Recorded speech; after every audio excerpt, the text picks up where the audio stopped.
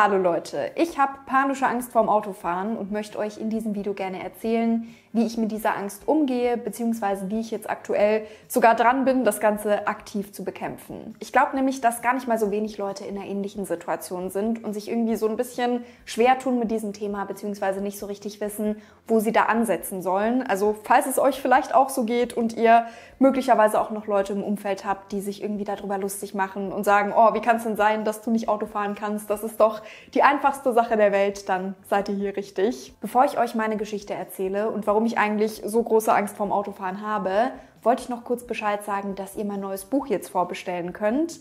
Es heißt The Way You See Me und ist ein Roman. Der dreht sich um die Frage, wie es nach einer toxischen Beziehung weitergehen kann. Und es geht außerdem um Nachhaltigkeit, um mentale Gesundheit, um queere Themen, ganz viele Dinge, die mir am Herzen liegen. Und wenn ihr das Buch gerne vorbestellen möchtet, dann schaut mal unten in der Infobox, da findet ihr Links dazu. Ihr könnt es aber überall vorbestellen, wo ihr wollt, also auch einfach bei der Buchhandlung bei euch um die Ecke. Also, wie kam es zu meiner Angst vorm Autofahren? Bei mir ist es so, dass ich ganz typisch mit 17 Fahrstunden gemacht habe. Und da ist eigentlich alles gut gelaufen. Ich habe meine Theorieprüfung im ersten Anlauf bestanden. Ich hatte einen tollen Fahrlehrer, der wirklich richtig unterstützend war, so wie man sich das wünscht. Also jemand, der da neben einem sitzt und einfach entspannt damit umgeht, wenn man Fehler macht und einen nicht irgendwie direkt ja unter Druck setzt oder einem Stress macht, sondern das war ein richtig gutes Klima. Ich hatte Spaß am Fahren und habe dann auch die praktische Prüfung im ersten Versuch bestanden. Also eigentlich sind das wirklich die perfekten Voraussetzungen und ich bin auch aus dieser Führerscheinprüfung rausgegangen und habe mich sicher und selbstbewusst gefühlt und dachte mir so, ich bin jetzt gut vorbereitet darauf im realen Leben Auto zu fahren. Und ein paar Mal habe ich das dann tatsächlich auch gemacht und das hat gut funktioniert bis zu dem Tag, an dem ich fast einen Unfall gebaut hätte. Also die Situation war folgende. Ich war mit meinen Eltern im Auto unterwegs und wäre bei einem Überholvorgang fast mit einem anderen Auto zusammengestoßen. Wie gesagt, fast, es ist nichts passiert und es war quasi nur ein Schockmoment. Ich habe damals dann meinen Vater gebeten, weiterzufahren, was ich auch okay finde in so einer Situation. Gerade wenn man irgendwie so ein bisschen geschockt ist, dann muss es nicht unbedingt sein, dass man direkt weiterfährt. Aber den Fehler, den ich halt damals gemacht habe, das war der, ja, dann nicht irgendwie ein paar Tage später zu sagen, komm, jetzt probiere ich das nochmal, damit ich irgendwie wieder merke, komm, das war jetzt so eine einmalige Sache. Eigentlich bin ich sicher und ich kann das, sondern ja, ich bin dann halt einfach nicht mehr gefahren. Dieser beinahe Unfall ist also meine letzte Erinnerung daran, Auto zu fahren. Und das Ding ist halt auch, dass der so ein richtig schlechtes Timing hatte. Ich bin nämlich kurz danach von zu Hause ausgezogen, 500 Kilometer weit weg. Das heißt, ich konnte jetzt nicht mehr mit dem Auto meiner Eltern fahren und üben. Und ich habe dort halt dann vor Ort auch kein Auto gebraucht, weil ich in einer Großstadt gewohnt habe. Alles, was ich gebraucht habe, war mit den Öffis erreichbar und das hat halt einfach keinen Sinn ergeben. Es ist natürlich schon so, dass ich dann noch ein paar Mal im Jahr bei meinen Eltern war. Das heißt, in der Zeit hätte man eigentlich schon sagen können, komm, ich setze mich jetzt ins Auto und übe das so ein bisschen. Ein paar Mal im Jahr ist ja besser als gar nichts. Meine Eltern haben mir dann auch immer angeboten, dass ich gerne mit dem Auto fahren kann, um zu üben. Aber ich habe das halt immer wieder vor mir hergeschoben. So richtig schön klassische Vermeidungsstrategie. Ich wollte das einfach nicht machen. Und jetzt sind mittlerweile zehn Jahre vergangen und ja, ich bin in dieser ganzen Zeit kein einziges Mal mehr gefahren. Und das Problem damit ist, dass ich jetzt halt an einem Punkt bin, an dem es nicht mehr nur so ist, dass ich nicht fahren möchte, sondern ich kann es halt de facto auch nicht mehr. Und dazu kommt dann halt auch noch, dass diese Angst in den letzten zehn Jahren so richtig schön viel Zeit hatte, sich im Unterbewusstsein festzusetzen. Und das tatsächlich so doll, dass ich in den letzten Jahren immer wieder geträumt habe, dass ich am Steuer von einem Auto sitze und ich versuche zu bremsen, aber es ist entweder keine Bremse da oder ich drücke, aber das Auto wird nicht langsamer. Also da ist einfach so ein ganz starkes Gefühl von Kontrollverlust und diese Albträume mit, ich sitze am Steuer und ich kann nicht bremsen oder das Auto wird nicht langsamer, das ist tatsächlich ganz schön weit verbreitet. Also es gibt nicht wenige Leute mit Fahrangst, die auch diese Träume haben. Ihr könnt euch wahrscheinlich vorstellen, dass das ganz schön belastend ist. Und das ist für mich mit einer der Hauptgründe, warum ich dieses Thema gerne angehen möchte und warum ich wieder Autofahren lernen möchte, damit diese Albträume weggehen und ich einfach diese Angst bekämpfen kann. Und dazu kommt dann noch, dass es einfach manche Situationen gibt, in denen ich gerne die Möglichkeit hätte, fahren zu können. Wir sind ja vor einem halben Jahr aufs Land gezogen und es ist so, dass ich jetzt im Alltag die meisten Strecken entweder mit dem Fahrrad oder mit den Öffis mache. Daran wird sich auch nichts ändern. Das heißt, ich habe jetzt nicht vor, so super regelmäßig aufs Auto umzusteigen. Aber was ich halt schon gerne hätte, wäre die Möglichkeit, in gewissen Situationen fahren zu können. Beispielsweise, wenn ich mit den Katzen zum Tierarzt möchte oder wenn es darum geht, zum Baumarkt zu fahren, ins Möbelhaus, irgendwas zu transportieren, was einfach mit dem Fahrrad oder mit den Öffis so ein bisschen schwierig ist. Und ich fände es auch schön, wenn im Urlaub mein Partner lange Strecken nicht immer komplett alleine fahren muss und wenn es einfach die Möglichkeit gibt, wenn es mal der Person, die fährt, irgendwie nicht gut geht, dass ich sagen kann, ich springe da ein. Deswegen habe ich damals in Berlin schon begonnen, mich mit diesem Thema auseinanderzusetzen. Vielleicht könnt ihr euch noch daran erinnern, ich glaube, es ist mittlerweile zwei Jahre her, dass ich schon mal ein Video zu diesem Thema gemacht habe. Da seht ihr auch, wie lange mich das Ganze schon beschäftigt. Und damals war eben der erste Schritt, den ich gemacht habe, mir ein Fahrrad zu kaufen. Das klingt jetzt vielleicht erstmal so ein bisschen seltsam. So, warum kauft sie sich ein Fahrrad, wenn sie Autofahren lernen möchte?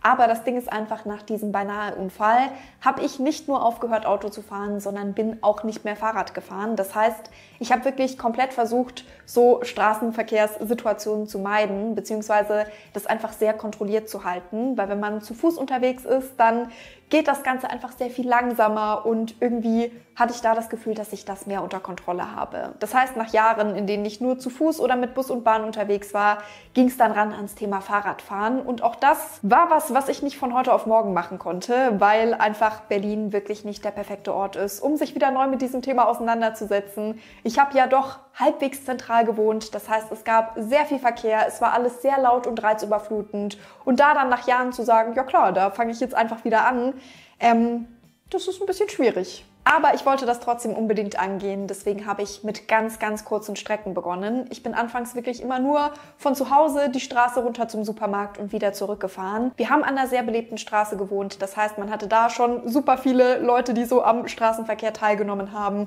und auf die man achten musste. Und das alleine war irgendwie schon fürs Erste herausfordernd genug. Und von dort aus sind die Strecken dann immer länger geworden und ich habe gemerkt, wie nach und nach so ein bisschen Sicherheit zurückgekommen ist. Es war nie so, dass ich gesagt hätte, ich bin jetzt völlig entspannt und fühle mich hier richtig wohl, weil das dafür einfach alles zu hektisch und zu krass war. Aber trotzdem hat mir das Ganze genug Sicherheit gegeben, um zu sagen, so, es ist jetzt an der Zeit für den nächsten Schritt und der war es für mich, Auffrischungsfahrstunden zu nehmen. Es gibt Fahrschulen, die das anbieten, also extra für Leute, die schon seit einer längeren Zeit nicht mehr gefahren sind. Und ich habe mich danach erkundigt und auch nach einer Fahrschule, die sich so ein bisschen auskennt mit Leuten, die Angst haben vor dem Autofahren, beziehungsweise stand das auf deren Website. Da habe ich mich dann tatsächlich voller Hoffnung und frohen Mutes angemeldet und was soll ich sagen?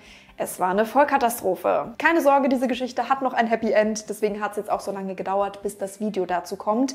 Einfach weil ich nicht wollte, dass das dann so eine reine Horrorgeschichte ist und ihr euch sagt, Bonnie, also wenn sie das erfahren hat, dann ähm, werde ich das garantiert nicht nochmal probieren. Aber ich möchte euch eben trotzdem ganz ehrlich sagen, bei diesem ersten Versuch ist echt so alles schiefgelaufen, was irgendwie schieflaufen konnte. Ich hatte nämlich einen Fahrlehrer, der sich ganz eindeutig nicht mit dem Thema Fahrangst ausgekannt hat und bei dem ich jetzt auch einfach mal sagen würde, der vielleicht generell nicht so super geeignet ist für diesen Job. Als ich ihm nämlich gesagt habe, dass ich seit zehn Jahren nicht mehr gefahren bin und Angst habe vor dem Autofahren, hat er sich erstmal richtig schön über mich lustig gemacht. Ohne Witz, Leute, wir saßen in diesem Auto und er hat allen Ernstes begonnen, so richtig in Babysprache mit mir zu sprechen. Also er hat unten auf die Pedale gezeigt und meinte zu mir, na, dann sag mir doch mal, ist das das Gas oder ist das die Bremse?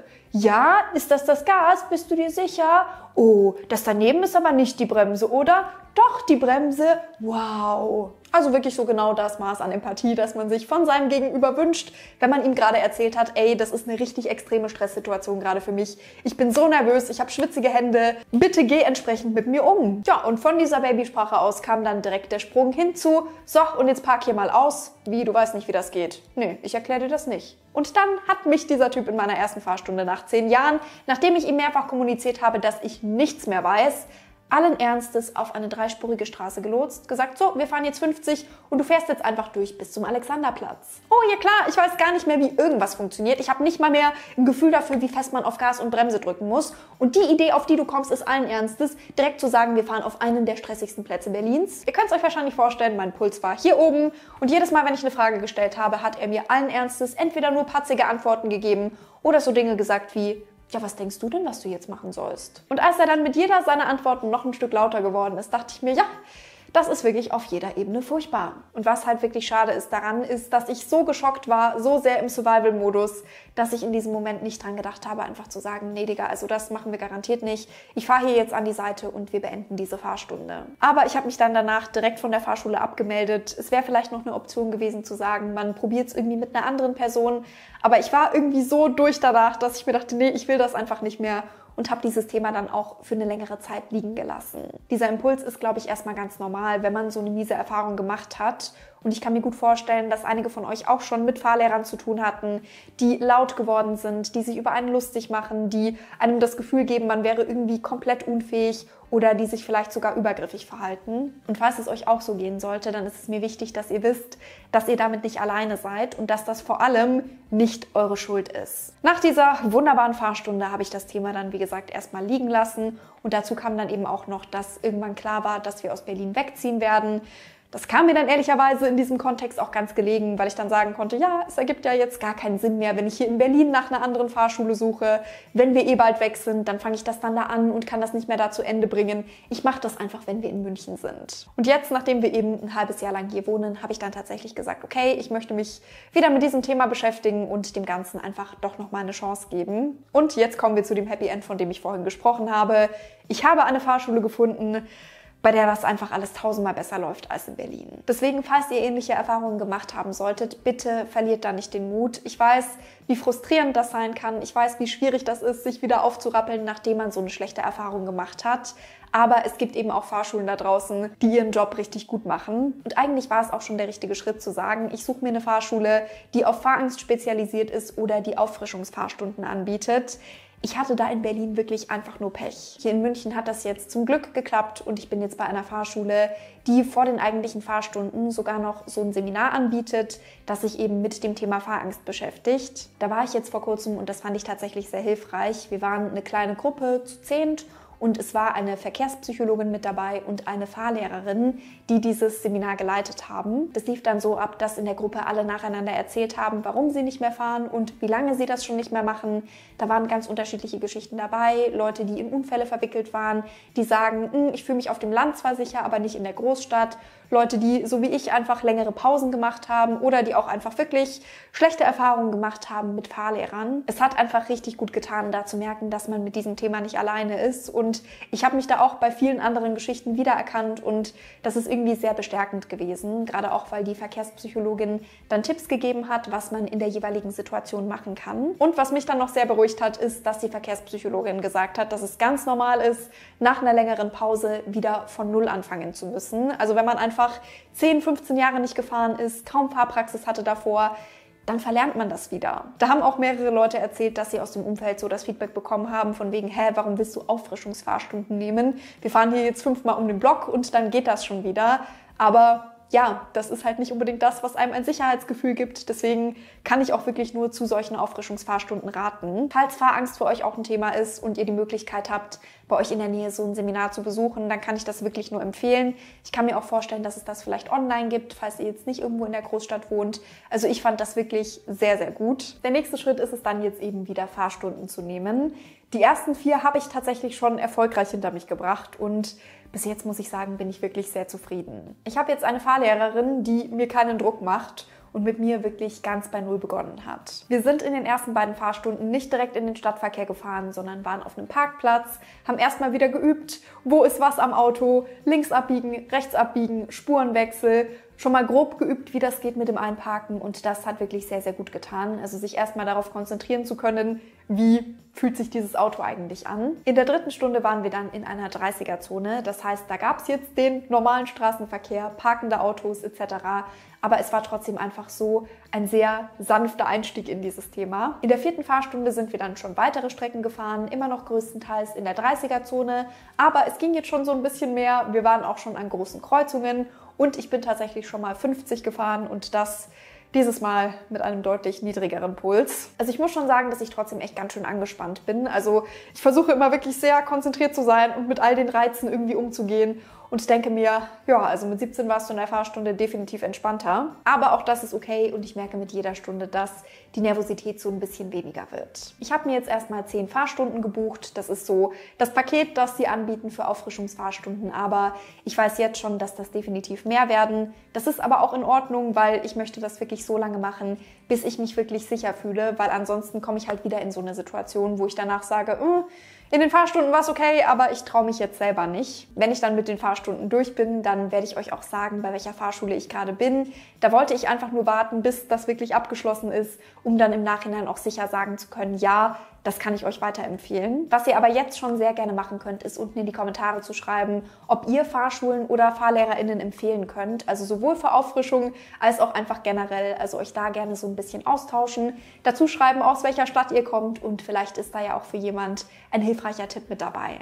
Wenn ihr mögt, dann teilt auch gerne mal allgemein eure Erfahrungen mit dem Thema Fahrschule unten in den Kommentaren. Und bevor jetzt hier die Sonne noch komplett das Bild auffrisst, sage ich Tschüss und bis zum nächsten Mal.